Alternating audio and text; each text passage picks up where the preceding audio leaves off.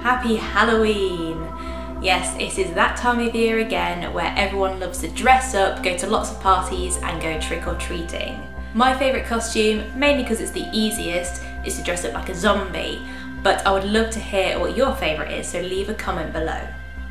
If you remember last year, we asked everyone to decorate their ostomy bags and use the hashtag SpookyStomabag, and we got some fantastic submissions, so here are a few that we got.